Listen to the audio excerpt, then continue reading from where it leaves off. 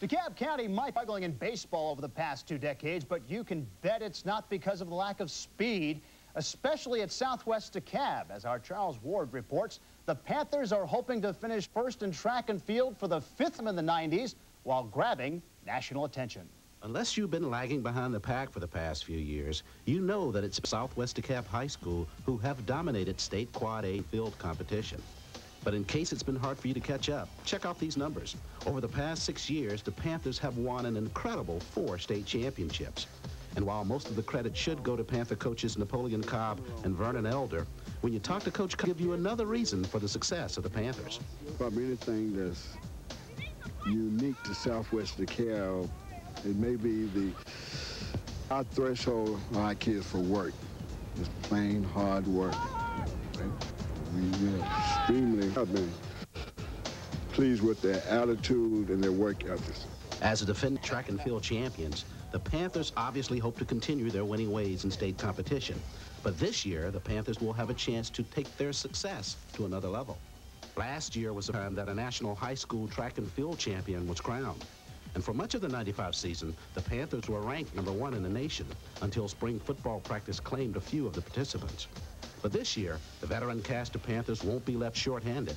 And if they can do just one thing, they should make a run for the national. Southwest DeKalb is always national. Southwest DeKalb is always what our kids do. If they do what their goal, what they set out to do, then we we always we'll be all right. We let it go. We don't really key in on other people. Now, when you're thinking about winning national and state track and field titles, you need some extraordinary talent to make it happen. And for the Panthers, there's plenty of talent to make the rounds. Let's start with the 800 and 1600 meter relay. In the recent Georgia Indoor Invitational, both teams outran the competition to finish first in each event. In addition to the relay teams, the double hopes of a state and national championship for the Panthers also rest upon the triple hops of triple jumper Angelo Taylor. At the Georgia Invitational, Angelo won the triple jump by posting his personal best with a jump of 48 feet 5 inches. And as a defending state champion in the triple jump, thinking about what it will take to win a national title in that event. Yeah, um, I feel I can go that about 49 feet, 50 feet. That's my goal for the year. In the 60-meter hurdles, the Panthers have already put themselves in national competition. Junior Terrence Trammell made that possible by turning in the time of 7.78 seconds at the Georgia Invitational, which was the fourth fastest indoor time ever posted in that event. Not bad for the first time out of the blocks. I felt well about the one, uh, the 60-meter high hurdles. Uh, that was my first time ever running the 60-meter high indoor, and uh, felt pretty good with the results.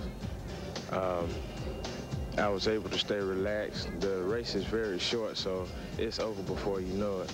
And uh, I'm just glad to be able to, that I was able to participate and come out on. Now, in case you think it's only the boys of Southwest DeKalb High School who are dominating in track and field, next week we'll introduce you to Lady Panther Terry Robinson, whose prowess on the track is gaining her a lot of notoriety.